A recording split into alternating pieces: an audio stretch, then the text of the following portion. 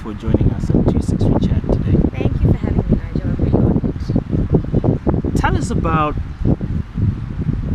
Phro Group and when you started. What was the inspiration? Wow. Do you know what? I started, I've always been a talker. I've always thought that information sharing is really important.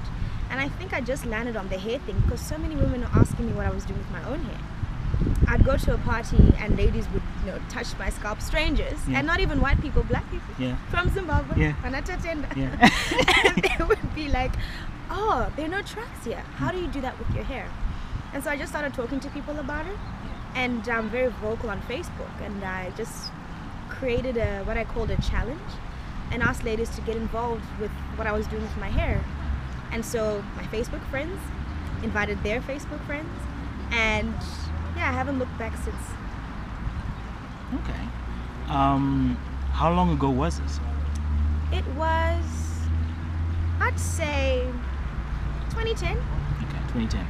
and um, that's when I started really talking a little bit about it on Facebook, and sort of end of 2010. Okay. Um, and then 2011, by 2011, I'd say mid 2011, that's when I started my blog, my Fro Fro blog. Yeah, Fro- And rem- so I I am actually known as Afro. Exactly. You shouldn't be calling me Lan. Afro. And you chose the name. How? What was How? Yeah, it was, you know. Do you know that was even before I thought about hair? Really? Yeah. Um, It's like a little, little nickname. that's Little just nickname? You just started from way I back. it Af- I can't- even remember Afrocentric. I think I started. ah, as. right, right, right, right. I remember. I think being in um, Australia with this skin color, Yeah. Your identity is really important. Okay. And so I just wanted to identify with where I was coming from, and that's how I started. That's how you started. A lot of um, Australians, and you know, they're um, Lebanese Australian, and Australian Italian, and so forth. And, Yeah. and I think that's where it comes from, really. But without any thought behind it, this is just hindsight.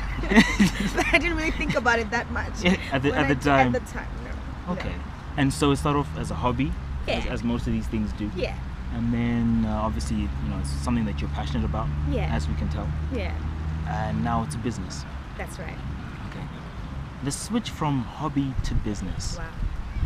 Um, of course, there was a lot of intention. Yeah. We're now like, no, no, this is serious. Very much. Yeah. Come on. um, when was that? I had been thinking about creating a business years before even I started blogging. I've always been business minded. I've always wanted to be a woman that owned their own business and, you know, yeah, created something out of nothing. And I think when I landed on the hair thing, I was just thinking, wow, this is fantastic.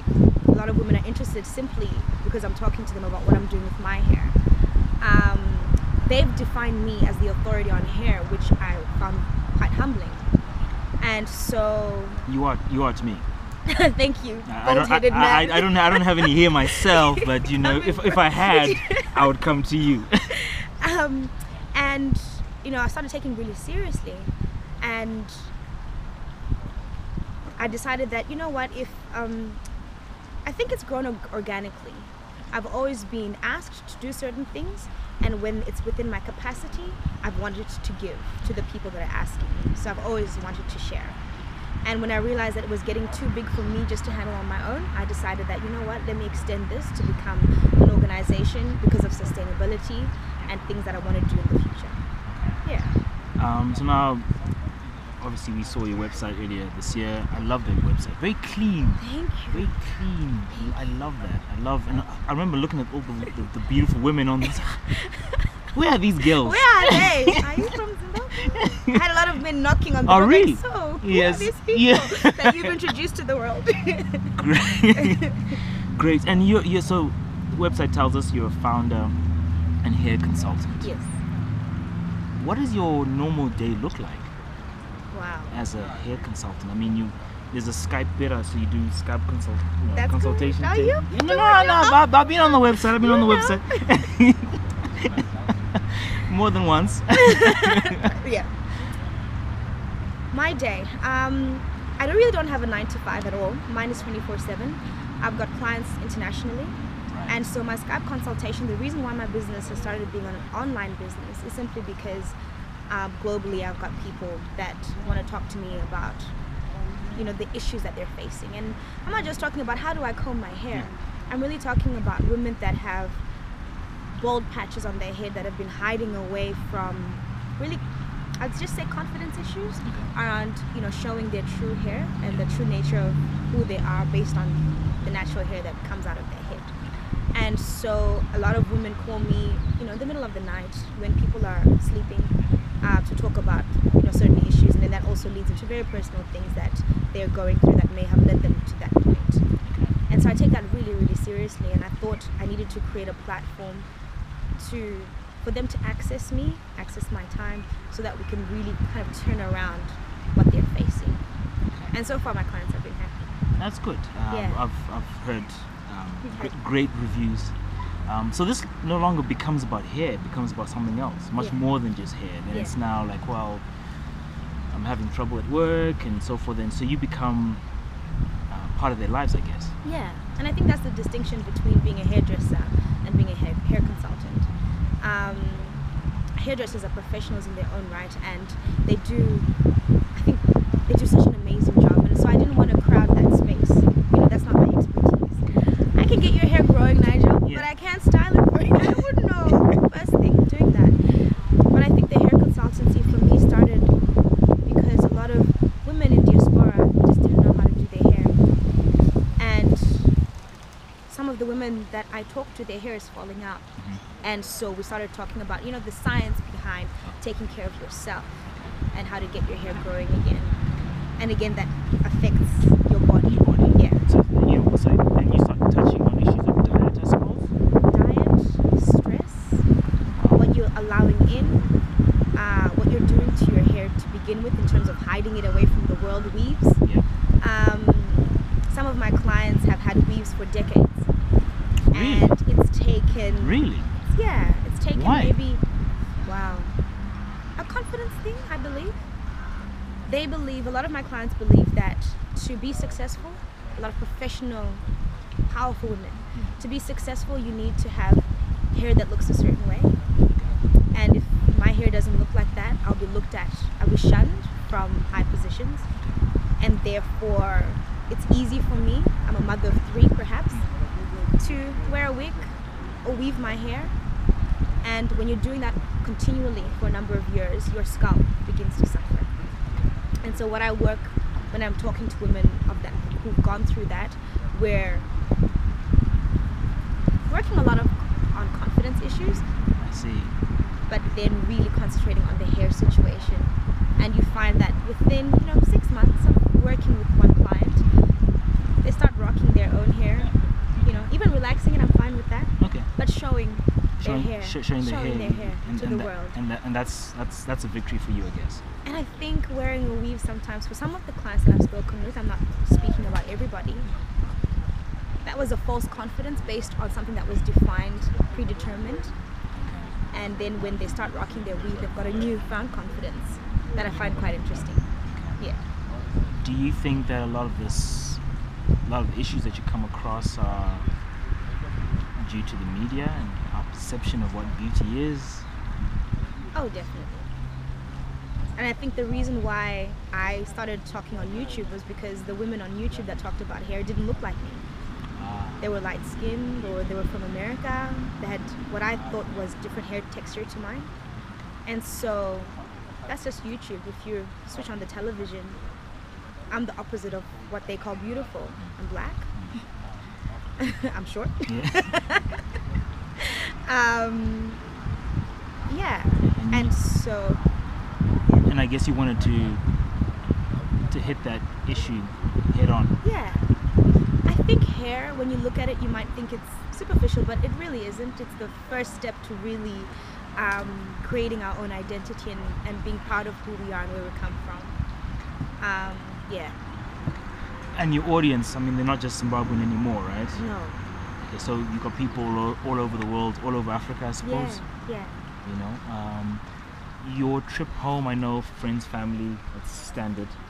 But what your trip home here? So you're in Zim now. Um, there must be a plan for Fro, for the Phro group. Definitely. Okay.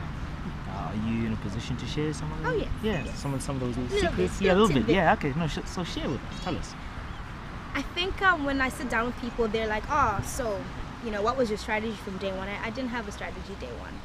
I think what I, I've done over time for a group has been, it's an organic growth for me. It's been an organic growth. I've seen the need based on people talking to me about it, and then I've taken that step of faith and grown that way. Um, but the reason why I'm in Zimbabwe is because part of my plan is to really have a home base. Um, I want to create products. I want to create a quality shared to the world, and I want people to buy it not because poor Zimbabweans are created out they need money. No, I want people to buy it because it's an amazing product and it works. And what? It happens to be Zimbabwe. I think we're a jewel in ourselves and I think Zimbabwe should be happy. And yeah, we'll see how things go. Zimbabwe is a, different kettle of fish. right? No, definitely I'm is. learning a lot. You're learning a lot. I'm learning a lot. Okay, but your meetings have been uh, exciting, fruitful, um, Yeah. things that you need to obviously work on in the Yeah, background. yeah, definitely, Great. definitely. That, that's good to hear. Um, so you, you're talking about new products. So your own dark and lovely, I guess. Is that is that the kind of stuff? Yeah. Um, or not, not not so much dark and lovely, but the same but the same kinds of Yeah. products, your own products. Okay. Yeah, I want to create my own products. Okay. I want to create. Yeah, I want Phro Group to be known not to resell Yeah. Something that someone has decided is a great product. I want to create something that works for Zimbabwean women and men, and of it to be high quality, like I said before, and then share it with the world. And in, in creating a product, I want to also want to provide opportunities for people to be involved in that aspect of things, whether it becomes growing the, the, the, the ingredients of the product in Zimbabwe, whether it becomes opening factories in Zimbabwe. I want them to be a part of you know the way that Phro Group grows, and I think that's really really important. I've been in the not-for-profit sector for a number of years, and being on that side of of the sector, um, I thought it really really important to create an industry back home that fed into hair care. Okay. Yeah, So you're looking to create jobs. I'm looking to create jobs. That's I'm looking to create. That's that's great. Um, so what can we look forward to in the future? So say one year from now. One year from now, you might see one or two products being sold in Yeah. Zimbabwe. Yeah. Here's hoping. Yeah. I shouldn't cross my fingers, should I? But here's hoping. Um, it's a really tough one. Yeah. It's really tough. one. Yeah, I I have high hopes for Phro Group and where it's going. Um, like I said before, I've taken really small steps um, based on my ca- capability. Um, but I would hope that uh, 12 months from now, a few more people will be seeing products dotted around Zimbabwe for everyone to enjoy. You've already got a product out there now. Yeah. What is that? Tell, tell us a little bit about it. Didn't bring it. Didn't bring it. um, it's it's I've, I've called it Afroco. Okay. Afroco, and it really is an applicatable.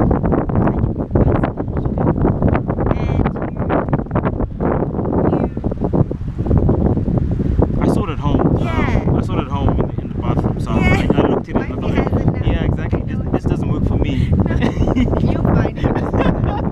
so for women with weaves, who've got braids, um, and even with hair like mine right now, instead of parting your hair to apply oil, oil is really good for because we tend, tend to have a dry scalp. You just apply it onto your hair, you glide it onto your hair. So I might, yeah, maybe after this clip I'll put up a photo of it. or Yeah. something. now we'll take a photo for Yeah. you. So how do we find you? What what are your, what's the website? Um, how do we find you guys on Twitter, Facebook? Yeah. Where do we find you? How do we get in touch? Sure. Um, my website is Phro Group, so it's P H R O Group, G R O U P dot com. And I'm on Facebook. It's facebook.com forward slash hair challenge. Hair challenge. Hair challenge. And then you can follow me on Twitter, Phroetic, which is P H R O E I C. See? Wow. My- no, really, I was educated. Yeah. and then you can follow Phro Group on Twitter as well. As well. Yeah. Great. Um, we wish you all the best of luck. Thank you. We'll be, you know, following your journey a- as always, Thank you. and we look forward to more interviews. Thank you very much. And we look forward to more YouTube videos YouTube. that have nothing to do with what I can do with my own hair. Thank you very much. Thanks, Ed.